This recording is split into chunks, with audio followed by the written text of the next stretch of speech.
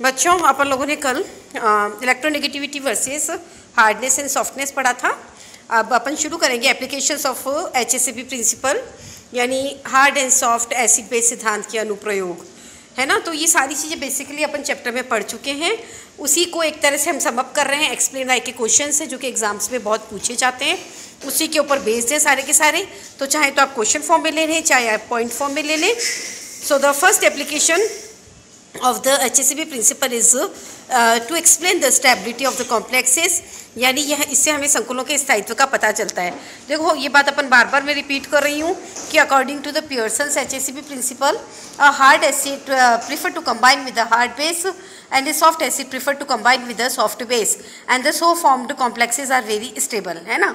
तो जो hard acid और हार्ड बेस से बनाए जो सॉफ्ट एसिड सॉफ्ट बेस के बनाए वो बहुत ज़्यादा स्थायी होगा। तो इसीलिए आप एक्सप्लेन वाई के रूप में लिख लीजिए। Explain why A G I two minus is a stable complex whereas A G F two minus is not stable है ना? कि ए जी आई टू माइनस तो बनता है और स्टेबल होता है, जबकि A G F two minus नहीं बनता, और अगर बनता है तो अनस्टेबल होता है। तो अगेन आप बात को समझ ही गए कि ए जी प्लस क्या है? एक सॉफ्ट एसिड है। बताया था ना?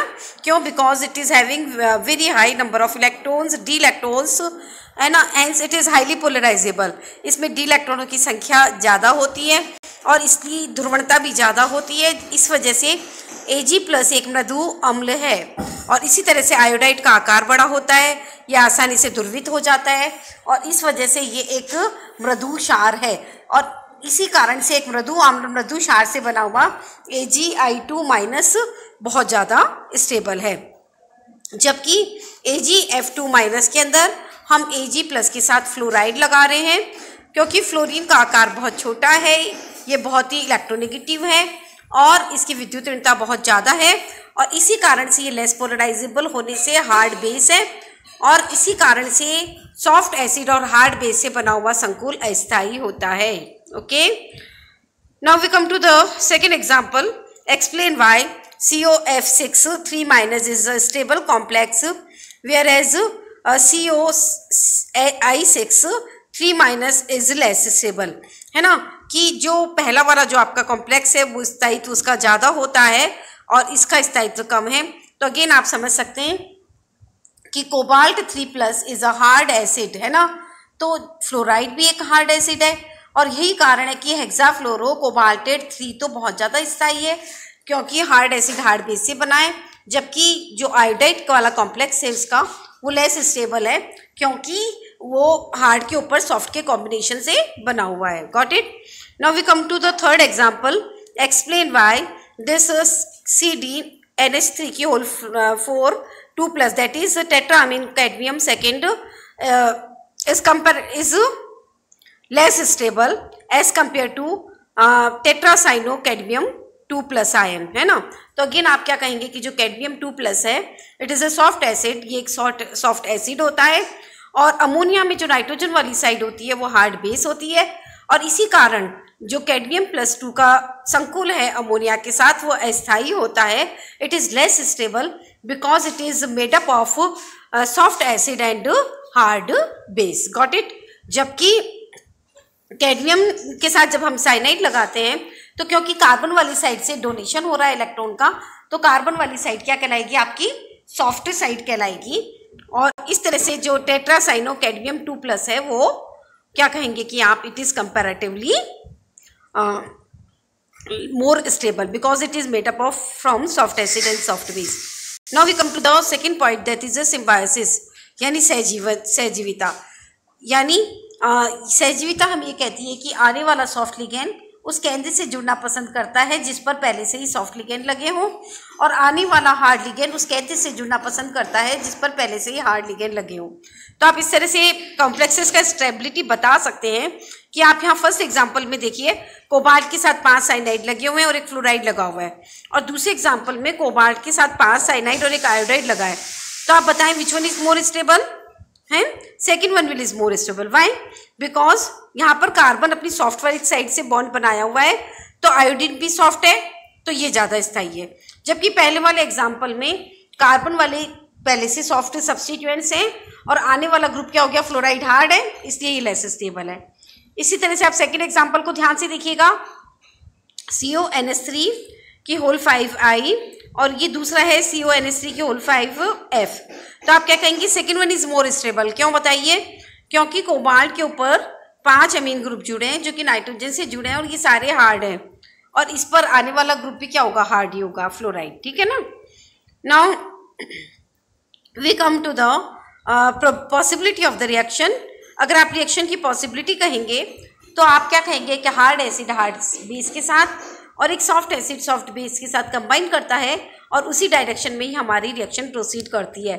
यही रीज़न है कि लिथियम आयोडाइड और सीजियम फ्लोराइड मिलकर लिथियम फ्लोराइड और सीजियम आयोडाइड बनाते हैं। कैल्शियम आयोडाइड और कॉपर फ्लोराइड मिलकर कैल्शियम फ्लोराइड और कॉपर आयोडाइड बनाते हैं। मर्करी फ्लोराइड और बेरिलियम आयोडाइड मिलकर के बेरिलियम फ्लोराइड और मर्करी आयोडाइड बनाते हैं। Got it now the fourth application is आप चाहें तो क्वेश्चन के फॉर्म में लिख लीजिए explain why H G O is soluble in S C L whereas H G S is insoluble कि एच जी ओ तो एस सी एल में घुल जाता है, लेकिन एच जी एस नहीं घुलता।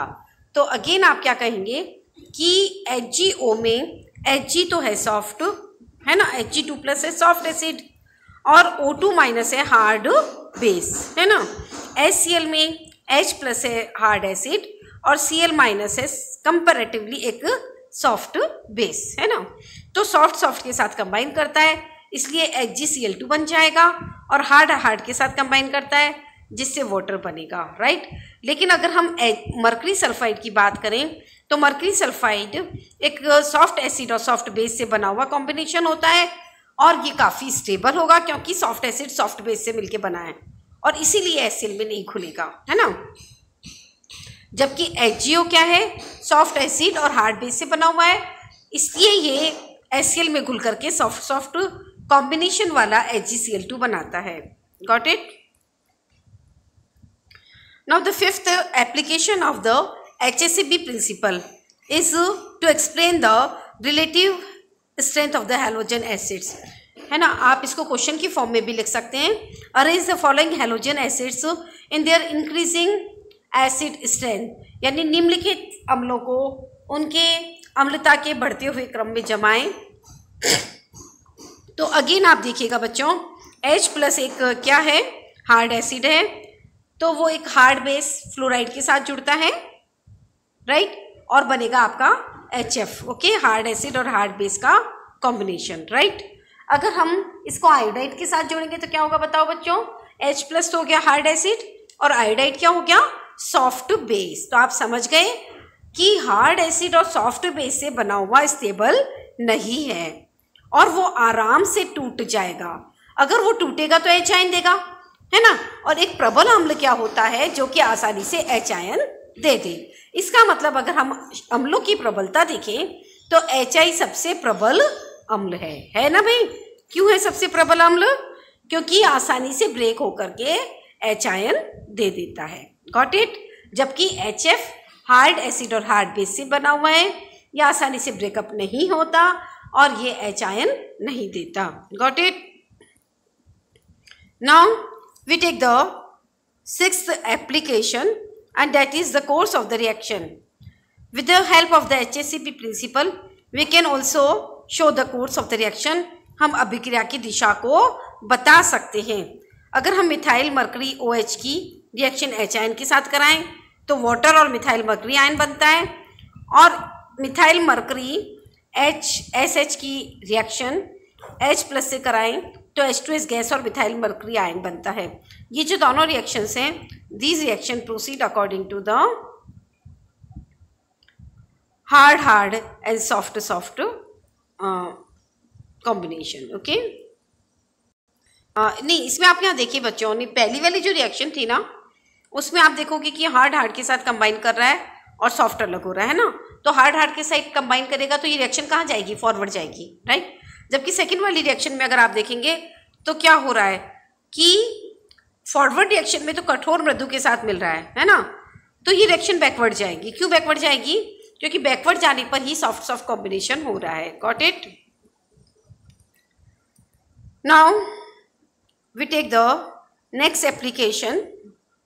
That is the seventh one is uh, with the help of HCCB principle we can explain the bonding in the complexes having m bidentate ligand यानी हम उन संकुलों का स्थायित्व भी समझा सकते हैं जिनमें उभयदंतुक लिगेंड पाए जाते हैं उभयदंतुक लिगेंड वे होते हैं जो मेटल से किसी भी एटम के द्वारा बंधित हो जाए गॉट इट तो यहाँ पर अगर आप कॉम्प्लेक्सेस का स्थायित्व देखेंगे तो ऊपर मैंने दो कॉम्प्लेक्सेस लिए कोबाल्ट वाला और दूसरा पैलेटिनियम वाला।